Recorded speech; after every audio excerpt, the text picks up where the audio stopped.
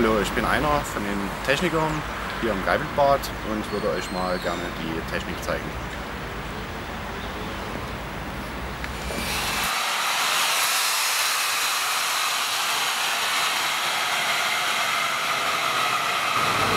Also, wir befinden uns jetzt äh, im Kellerbereich des Geibelbades und hier auf der rechten Seite ist einer der Putzmittelräume, wo Reinigungschemie und Desinfektionsmittel eingelagert ist. Unsere Reinigung findet nachts statt. Wir haben dort ein Reinigungsteam, die fangen in der Regel 3 Uhr nachts an. Es existieren Reinigungspläne, Desinfektionspläne, so dass jeder Bereich jeden Tag gründlich und sauber und ordentlich gereinigt wird und desinfiziert wird.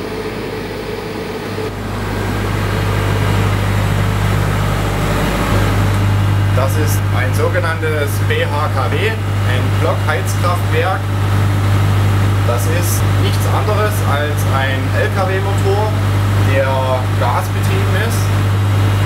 Und an dem Motor hinten dran hängt ein Generator, der angetrieben wird. Und somit erzeugen wir Strom für das Haus. Unter anderem verwenden wir die Temperatur des Abgases die liegt ungefähr bei 700 Grad Celsius. Und diese Wärme nutzen wir und verteilen die über einen Hauptverteiler in die Badewassertechnik beziehungsweise zur Erhitzung des Hauses oder zum Heizen des Hauses.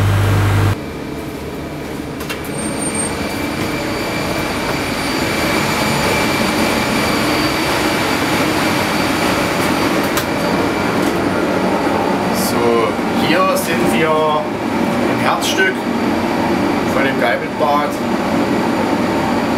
Hier ist äh, alles untergebracht, was für die Regelung und Funktion der Badewassertechnik benötigt wird.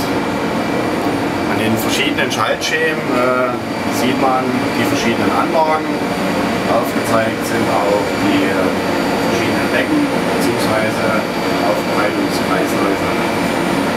Ich würde vielleicht mal kurz anhand des Schlummerbeckens in der Halle äh, erklären, wie überhaupt so ein äh, Wasserkreislauf funktioniert. Wir haben unser Schlummerbecken. An dem Schlummerbecken befinden sich Überlaufrinnen. Dort geht das Wasser hinein, kommt hier zu uns runter in den Keller in einen sogenannten Schwallwasser Behälter oder Schwallwasserbecken, wo das Wasser gesammelt wird. Dem nachgeschalten sind Umweltpumpen, die das Wasser aus dem Behälter herausziehen. Das Wasser wird durch den Filter oben schmutzig hereingedrückt und unten sauber wieder heraus. Und dann wird das Wasser unten in das Becken wieder eingeströmt. Und dieser gesamte Kreislauf äh, funktioniert 24 Stunden am Tag. Des Weiteren geben wir auch kontinuierlich diesem Wasserkreislauf Frischwasser hinzu und vom Grundsatz her sind alle Anlagen genauso strukturiert wie diese Anlage. Je mehr Becken an den Anlagen verbaut sind, umso mehr Filter brauche ich. Deswegen habe ich bei manchen Anlagen zwei Filter oder zum Beispiel bei der Freibadanlage habe ich dann fünf Filter verbaut. Aber vom Grundsatz her ist alle oder ist jede Anlage so aufgebaut wie diese. Also diese ganzen Anlagen funktionieren in der Regel vollautomatisch. Wir haben hier hinter dieser Tür einen zentralen Rechner, in dem alles fest einprogrammiert ist, äh, welche Pumpe angehen soll, welche Pumpe wieder ausgehen soll, welche Klappen sich öffnen und schließen sollen oder irgendwelche Ventile. Das ist alles fest programmiert. Äh, natürlich kann es mal dazu kommen, dass mal das nicht so funktioniert und dafür sind wir eben da, um die Fehler zu erkennen und dann zu beheben.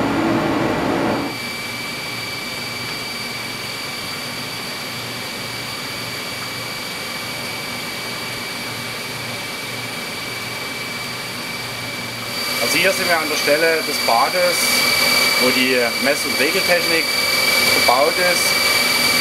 Hier ziehen wir aus jedem Becken das Beckenwasser her.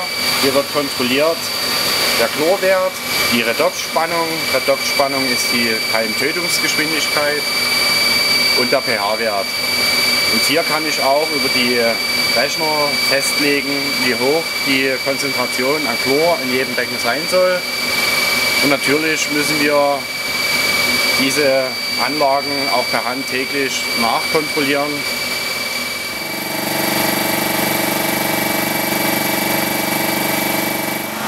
So, hier sehen wir noch verschiedene Pumpen für die verschiedenen Attraktionen in den Becken diese sind auch vorne in der Zentrale automatisch angesteuert. Da gibt es ein festes Zeitprogramm, wie lange die Pumpe laufen soll und wie oft in einer Stunde sie laufen soll. Also hier sehen wir die verschiedenen Filter von den verschiedenen Anlagen. Oben in den Filter läuft oder wird das schmutzige Wasser hineingedrückt und unten aus dem Filter kommt das saubere Wasser heraus, so wie ich das vorhin auf dem Schallschema gezeigt habe.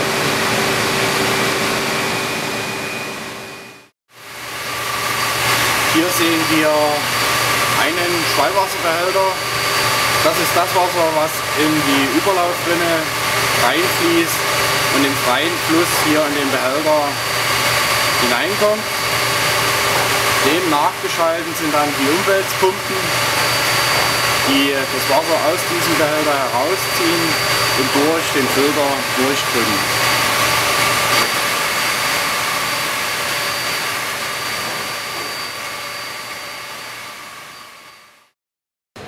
Also wir befinden uns hier im Umkleidebereich. Dort haben wir nochmal eine Übersichtstafel unserer Solaranlage, die sich auf dem Dach befindet.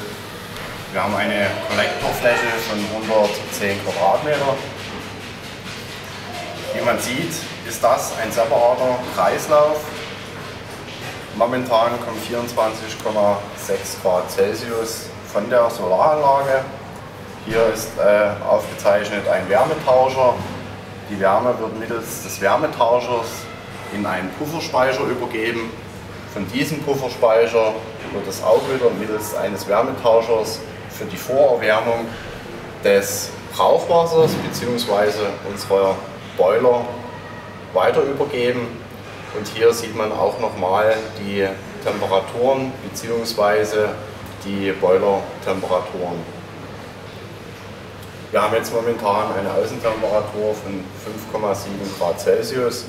Also sieht man schon die Wirkungsweise einer Solaranlage, obwohl es bedeckt ist heute. So, das war eine kurze Führung äh, durch technischen Bereich des Gartenbades.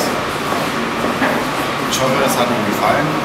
Wir sind das ganze Jahr 365 Tage bemüht, alles instand zu halten kontrollieren, dass alles richtig funktioniert. Und wir freuen uns auf Ihren nächsten.